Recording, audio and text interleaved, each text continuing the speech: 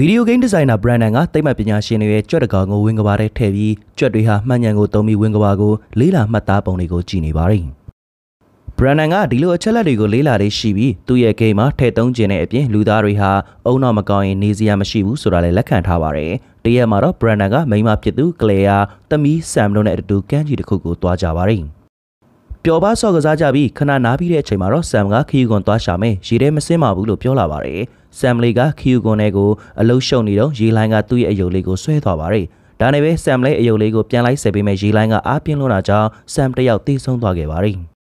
တမီလေးရဲ့ဇာပနာမှာတော့ဆွေမျိုးတွေက Brandon နဲ့ Clea ကိုနှစ်သိမ့်ပေးကြပေမဲ့သူတို့ကတော့ကြေကွဲနေကြပါတယ်။ Clea ကတမီလေးတည်သွားလို့မယုံနိုင်အောင်ဖြစ်နေပြီး Brandon ကလည်းအားတင်းထားပေမဲ့တမီလေးအခန်းထဲမှာခဏခဏငိုနေမိတာပေါ့။ဒီလိုနဲ့လာနိုင်တဲ့အကြောင်းမှာတော့ Clea ကအတိတ်ကနေရုံထွက်တင်ပြီးဆိုပြီးဆမ်ရဲ့အခန်းကိုရှင်းလင်းပါတယ်။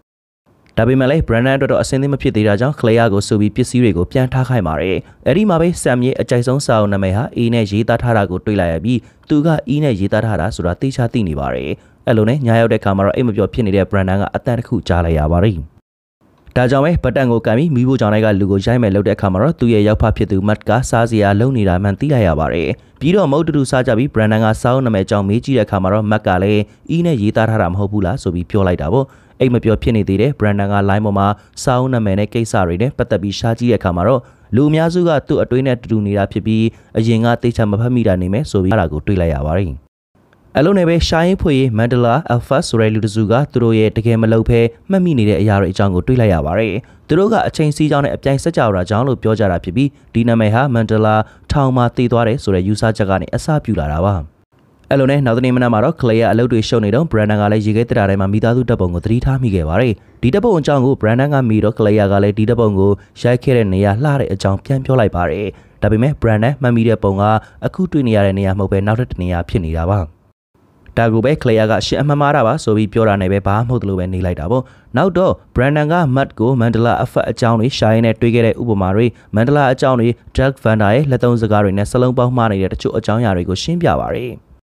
ဒါတွေကြောင့်ပဲ Brandon ကသူတို့တွေဟာလူအစ်စ်တွေလားဒါမှမဟုတ်သူတို့ကိုထိန်းချုပ်ထားတဲ့အရာများရှိနေသလားဆိုတာစဉ်းစားနေတော့ Matt ကအရန်ကို serious တွေမလုပ်ဖို့ပြောလာတာပေါ့နောက်နေ့တွေမှာတော့ Brandon ကဒီနီးယားမှာတွေကြားတဲ့ကိုနေဝင်သွားပြီးဖြစ်နိုင်တာတွေအကုန်လုံးကိုကြည့်နေတွေးစရာတွေလက်ခံဖို့ခဲတဲ့အကြောင်းအရာတွေကိုပါရှားတွေ့လာပါတယ်။ Brandon ကသူသိချင်တာတွေကိုမှတ်ထားပြီးဒီအကြောင်းကိုအရန်သိချင်လာတာကိုထိန်းချုပ်မနေတော့ပဲသမီးလေးစီစိတ်မရအောင်ဆိုပြီးတခြားတစ်ခါတည်းရှောက်ပြီးလှုပ်လိုက်မိပါတယ်။ ဒီလိုနဲ့တရက်မှာတော့ Brandon က Father တည်းသွားပြီးဖျားသခင်က Sam လို့ကလေးတယောက်ကိုဘာလို့အသက်ယူသွားတယ်လဲလို့မေးလိုက်ပါတယ်။ Father ကလည်း Sam ရဲ့တည်ဆုံမှုဟာဖျားသခင်ရဲ့အလိုတော်အရာမဟုတ်ဘဲဖျားသခင်ရဲ့လူသားတွေပေါ်ထားတဲ့စေတနာကြောင့်လို့ပြန်ဖြေခဲ့တာပေါ့။အဲ့လိုနဲ့ပဲ Brandon အိမ်ကိုပြန်ရောက်တဲ့အခါမှာတော့ဖျားသခင်ရဲ့စေတနာဆိုတာကိုသူ့ရဲ့စိတ်ဝင်စားမှုအကုန်ထည့်ပြီးလေ့လာပါတော့တယ်။နောက်တော့မန်တန်ကတွေ့တဲ့အခါမှာတော့သူသိလာတဲ့စေတနာဆိုတဲ့အကြောင်းအရာတွေကိုထပ်ပြီးဆွေးနွေးပြပါတယ်။ မတ်ကလည်းသူ့ရဲ့တငယ်ချင်းအာယုံကျော်ပါတကူနဲ့ဆွေးနွေးနေတော့မှာပဲလူသားတွေရဲ့အုံနောက်ဟာမပြည့်စုံတာကြောင့်မှန်ညာတွေကမောက်ကမဖြစ်နိုင်ပြီးထင်အောင်ထင်မှားတွေဖြစ်နိုင်တယ်လို့ပြောလိုက်ပါတယ်။ဒါပေမဲ့လည်း Brandon ကတော့ထင်အောင်ထင်မှားဖြစ်တာမဟုတ်ပဲတိုက်ဆိုင်မှုလို့ယုံကြည်နေပါတယ်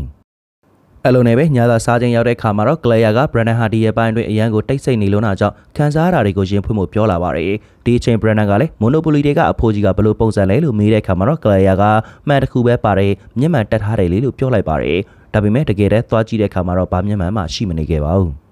အဲဒီနောက်တော့ Brandon ဟာဆန်ရဲ့မြောက်စာအုပ်ကိုယူလာပြပြီးစာအုပ်ထဲမှာမြောက်ကအမိရှိနေပြီးဆန်ရဲ့အယုတ်မှလည်းအဲ့လိုပဲလို့ပြောလိုက်ပါတယ်။ Clear ကလည်းသူတို့စကားဝိုင်းတွေကိုတမီလေးဆွဲမထွက်ချင်ပေမဲ့ Brandon ဆက်ပြောနေပြီးတမီလေးဇာပနာပွဲပြီးသွားတာတော့မှတမီလေးတည်သွားပြီဆိုတာကိုအခုထိလက်ခံမှုမဖြစ်နိုင်သေးဘူးလို့ပြောလာပါတယ်။ပြီးတော့လက်တွေ့ဘဝရဲ့ပုံရိပ်ရောင်အကြောင်းတွေကိုပြောတဲ့အခါမှာတော့ Claire ကစိတ်ရှုပ်လာပြီးရှင်းရဲ့အာယုံတွေကိုမဟုတ်တဲ့ဟာတွေနဲ့အာယုံမဆိုင်ဆန်းပါနဲ့လို့ပြောထည့်လိုက်ပါတယ်။အလုံးနဲ့ခဏနေတော့ Brandon Claire ဟာလည်း Mac နဲ့သူ့ရဲ့ချစ်သူတွေနဲ့အတူညသာစားပါတယ်။ Brandon ကလည်းအတွေးထဲမှာနင်းမြုံနေပြီးစကားပြောတဲ့စီအာယုံမရောက်တဲ့ခါမှာတော့ဘားတွေကထွက်သွားဖို့လုပ်တာနဲ့ Matt ကလည်းမင်းနဲ့ Clay ကအပြန်လန် sporting ပေးသေးတယ်လို့ပြောလာပါတယ်။ Brandon လည်း Matt ပြောတာမှန်ပါလေတဲ့ဆိုပြီးတော့စပွဲစီကိုပြန်ရောက်လာခဲ့တာပေါ့။ဒါပေမဲ့လည်းအင်ကိုပြန်ရောက်တာနဲ့ Brandon ဟာကွန်ပျူတာရှေ့ကိုပြန်သွားပြီးလူသားတွေကကွန်ပျူတာနဲ့ program ဆွဲထားတဲ့လက်တွေ့ဘဝမှာနေနေရသလားဆိုတဲ့ theory ကိုလေ့လာပြန်ပါတယ်။ Brandon မှတ်သားထားတာတွေဟာလည်းများလုံးနေပြီးပုတ်ပုံပေါ်မှာခြာရည်ပြီးသူ့ရဲ့သမီးလေးဆန်အသက်ရှင်နေအောင်ပဲအပြိုင်စကြောတာတကယ်ရှိတယ်ဆိုတာကိုပဲအာယုံဆိုင်နေတာပေါ့။ သူက Elon Musk လို့နာမည်ကြီးတဲ့သူတွေပြောတဲ့အပြိုင်ဆက်ကြရ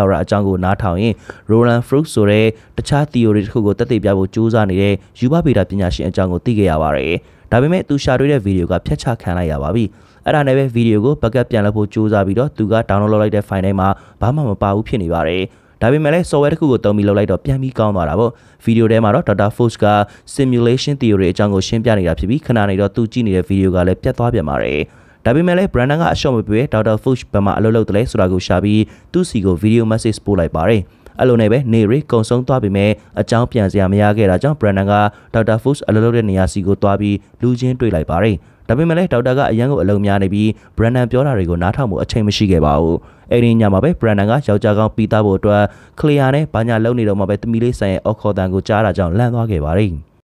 ဒီတော့စိတ်ပြတ်သွားတဲ့ Claire ဟာလည်း Brandon ကိုစိတ်ကူတုံခံယူဖို့ပြောလာခဲ့တာပေါ့။နောက်နေ့မှာတော့ Brandon ကစိတ်ကူတုံဆရာဝန်စီမသွားပဲ Dr. Foods စီကိုရောက်လာခဲ့ပါတယ်။ Dr. Foods ကလည်း Mandra Alpha ဆိုတဲ့မှတ်ညက်အမှားတွေပါလို့ယုံကြည်ထားပေမဲ့ Foods ကိုယ်တိုင်ကလည်းလူသားတွေက system upgrade လုပ်ထားတဲ့စနစ်တစ်ခုရဲ့ တခြားဖြစ်တည်မှုကြောင့်ဒီလိုမျိုး Mandra effect ဆိုတာဖြစ်လာတယ်ဆိုတဲ့ယူဆချက်တွေရှိပါတယ်။ Brandon ကလည်းလက်တွေ့ဘဝဆိုတာကွန်ပျူတာကုတ်တွေဆိုရင် hacking လုပ်လို့ရမှာပဲလို့ပြောလိုက်တာနဲ့ Force ကចောင်းကိုခေါ်သွားခဲ့တာပေါ့။လမ်းမှာတော့သူတို့ကကဘာကြီးတိရှိမှုဟာအမြဲတမ်း system upgrade လုပ်တဲ့အကြောင်းဖြစ်မယ်ဆိုပြီးလဲဆွေးနွေးနေကြပါတယ်။ အဲဒီနောက်တော့ Brandon ကဗီဒီယိုဂိမ်းတစ်ခုနဲ့နှိုင်းယှဉ်ပြီး player တယောက်ကနေရာတစ်ခုကိုရောက်လာမှသာသူ့ရဲ့တီထွင်မှုသူတွေကအဲ့ဒီနေရာတစ်ကိုဖန်တီးပေးတာဖြစ်ပြီးသူမရောက်ခင်ကအဲ့ဒီနေရာဟာဘာမှမရှိတဲ့အကြောင်းလည်းပြောခဲ့တာပေါ့ဒါကြောင့်မလို့ simulation ဖြစ်တာကို hacking မလုပ်ဘဲ process ကို overload ဖြစ်အောင်လုပ်လိုက်ရင်ရပြီလို့ပြောလာပါတယ်ဒီအတွက်လည်း powerful ဖြစ်တဲ့ဆက်လို့ရဲဆိုတာနဲ့ Force ကကြောင်မှာ quantum computer ရှိတယ်ဆိုတဲ့အကြောင်းလည်းပြောလာခဲ့ပါတယ် ဒီလိုနဲ့သူတို့နှစ်ယောက်တာတူတူရောက်လာပြီး Fuchs ကကုတ်တွေဘယ်လိုရိုက်ထည့်ရမလဲဆိုတာပြနေတော့ Mingni ဖြောက်လာခဲ့ပြီး Brandon ကဒီကိုလာခွင့်မရှိဘူးဆိုပြီးမောင်းထုတ်ခဲ့တာပေါ့ ဒါနဲ့ပဲနှစ်ယောက်သား Fuchs အိမ်ကိုပြန်အောင်လာပြီးစောစောကမင်းကိုလာပြီးနှင်ထုတ်တာဟာမင်းကဒီ simulation မှာ error ဖြစ်နေတဲ့ bug ဖြစ်တာကြောင့်လို့ပြောလာပါတယ်ပြီးတော့ Brandon မဲ့လုံနိုင်တဲ့အနေအများတဲ့အကြောင်းအရာကိုသာစဉ်းစားမိသွားခဲ့ပါတယ် Brandon က simulation ဟာပြန်လဲဖန်တီးလို့ရပြီး power တွေလည်းလိုအပ်တာကြောင့်ဒီကိစ္စကြီးရဲ့နောက်ွယ်မှာလုံနိုင်မှုဆိုတာမလွယ်ကူလှပါဘူးအိမ်နေညမှာပဲ Brandon ကစံသေးတဲ့နေကိုအိမ်မက်မှတ်ပြီးသူ့ရဲ့နာမည်ခေါ်တန်းကြားတာကြောင့်လန်နိုးလာပြန်ပါတယ်အဲဒီနောက်မှာတော့ဆိုင်ရဲ့အခန်းကိုတွားကြည့်တဲ့အခါမှာတော့အရေးတစ်ခုကိုတွေးလိုက်ရပြီးခဏနေတော့ Griff ဖြစ်ကပျောက်ကွယ်သွားပါတယ်။ဒါကြောင့်ပဲစိတ်ရှင်းသွားအောင်စိတ်ပြေလက်ပြောက်ကားပတ်မှမို့ထွက်သွားပြီးမြဲသူ့ရဲ့အမြင်ထဲမှာတော့ကဘာကြီးကကုတ်တွေရေးထားပြီးကွက်နက်ကွန်မြူတာလုံးနဲ့ချိတ်ဆက်ထားတယ်ဆိုတာပဲမြင်အောင်နေတာပေါ့။နောက်တော့ကားထဲမှာအိပ်ပျော်သွားပြီးမြို့ထဲကနေရာတစ်ခုမှာပြန်ပြီးနိုးလာခဲ့ပါတယ်။နောက်တော့ရုတ်တရက်အတန်ဆူဆူတွေကြောင့်နားဥလာပြီးလက်တွေ့ဘွားကြီးကလည်းတခြား Griff တွေလိုဖြစ်လာခဲ့ပါတယ်။အဲ့ဒီမှာပဲ Brandon ဟာအိမ်ကအိယာပေါ်မှာပြန်ပြီးနိုးလာခဲ့ပြန်ပါတယ်အခန်းထဲကထွက်လာတော့ Sam ကိုအခန်းထဲမှာမြင်လိုက်ရပြီး Clear က Sam ကိုရေချိုးကန်းတဲ့ကိုခေါ်သွားခဲ့ပါတယ် ဒါပေမဲ့နောက်ကလိုက်ကြည့်တဲ့အချိန်မှာတော့ Sam ကိုမတွေ့တော့ဘဲသွားတိုက်နေတဲ့ Clear ကိုသာတွေ့လိုက်ရပြန်ပါတယ်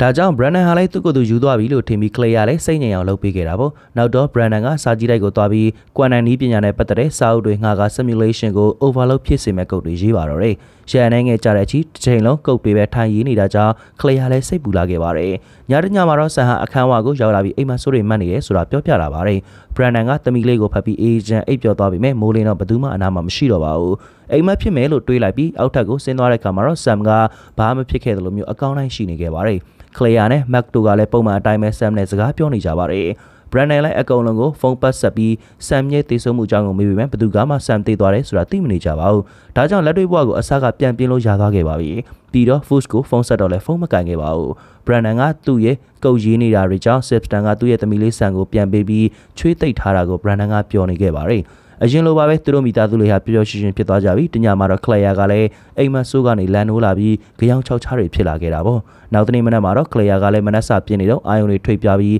မနက်စာကမီးတွေကျွမ်းကုန်ပါပြီ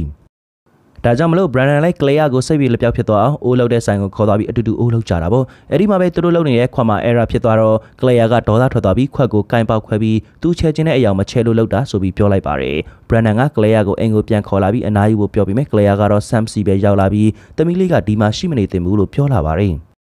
ဟုတ်ပါတယ်လက်တွေ့ဘဝပြောင်းလဲသွားတာဟာ Claire ကိုယူကြည့်အောင်ဖြစ်သွားစေပြီး Brandon က Sam ကိုပဲကြည့်ဖို့ Matt ကိုတာဝန်ပေးခဲ့က Fuchs အိမ်ကိုရောက်လာခဲ့ပါတယ်ဒါပေမဲ့ Fuchs နဲ့သူ့ရဲ့မိန်းမကိုပဲတွေ့ခဲ့ရပြီး Fuchs ကလွန်ခဲ့တဲ့နှစ်လလောက်ကတည်းကသိပ္ပံပညာအတိုင်းဝိုင်းမှာသူ့ကိုလက်မခံတာကြောင့်တက်တည်သွားပြီပဲဖြစ်ပါတယ် Brandon ကလွန်ခဲ့တဲ့နှစ်ရက်ကပဲ Fuchs ကိုတွေ့ခဲ့တယ်လို့တွေးလိုက်တဲ့အခါမှာတော့ဖန်ကွက်မှာအကွဲရာတွေပေါ်လာပြီး simulation ရဲ့အရေးအယောင်တွေကိုမြင်လိုက်ရပြန်ပါတယ်ဒါနဲ့ပဲအကုန်လုံးကိုပြန်ပြမရမယ်ဆိုပြီးအိမ်ကိုပြန်ကကုတ်တွေပြန်ရေးခဲ့တာပေါ့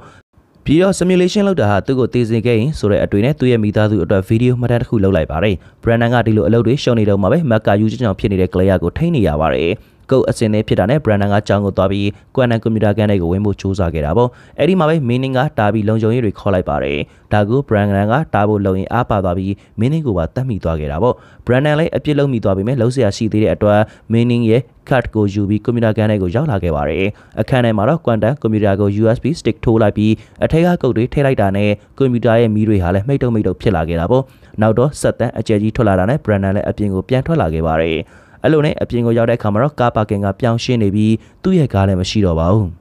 အဲ့လိုနဲ့ပဲမျက်စိတမိတ်တွင်ဘတ်စကားပေါ်ရောက်သွားပြီးသူ့ရဲ့မိန်းမကနေမကောင်းဘူးဆိုပြီးဖုန်းဆက်လာပါတယ်။အဲ့ဒီအချိန်မှာပဲကာဘဝအဖွားကြီးတယောက်က Greek ဖြစ်ပြီးကျမ်းမြင်ကိုဖောက်ဝင်သွားခဲ့တာပေါ့။အနာကစုံတွေကလည်း Greek ဖြစ်နေပါတယ်။ Brandon လည်းကာဘဝဆင်ပြီးအိမ်ကိုပြေးတော့ Landshot Grip တွေအများကြီးကိုတွေ့လိုက်ရပါတယ်။နေနဲ့ညရုပ်ချင်းပြောင်းလဲနေပြီးအပင်တွေကလည်းအယောင်တွေပြောင်းလဲနေပါတယ်။ကောင်းကင်မှာလည်းလာနစင်းဖြစ်နေခဲ့တာပေါ့။ Brandon ကအိမ်ကိုပြန်ရောက်တာနဲ့ Claire နဲ့သမီးလေးကိုဖတ်ထားပြီးဘေးပတ်ဝန်းကျင်မှာ Grip ဖြစ်တာတွေကအရန်ကိုယူကျင်စရာကောင်းနေပါပြီ။ Claire ရဲ့မျက်နှာဟာလည်း Grip ဖြစ်သွားပြီးတဲ့နောက်မှာတော့ကောင်းကင်မှာလာနစင်းတိုက်လို့ပောက်ကွဲပျက်စီးမှုပြီးဖြစ်ပြီး screen ကလည်းအမဲရောင်ကြီးပြောင်းသွားခဲ့တာပေါ့။အဲ့ဒီနောက်မှာတော့ကုတ်တွေကပြန်ပေါ်လာပြီးစကြဝဠာကြီးကဟိုးအစကနေ reboot ဖြစ်ကဒိုင်နိုဆောခေတ်ကနေပြီးလူသမိုင်းတခြားအရေးပါတဲ့ဖြစ်ရတွေအကုန်ဖြစ်ခဲ့ပြီး reboot ရပ်သွားတဲ့အချိန်မှာတော့ Brandon ကကန်းကြီးမှာမိသားစုနဲ့အတူတူရှိနေပါပြီ။ ဒီတစ်ခါတော့ဆမ်ကခီးကွန်သွားကောက်မယ်ဆိုပြီးခွင်တောင်းတဲ့ချိန်မှာတော့ Brandon ကအယုတ်ထားခဲ့ဖို့ပြောပြီးသမီးလေးအသက်ကိုရှင်းစေခဲ့ရင်းနဲ့ပဲဒီဇလန်လေးကအဲ့ဒီနေရာမှာပြီးဆုံးသွားခဲ့ပါတယ်ခင်ဗျာ။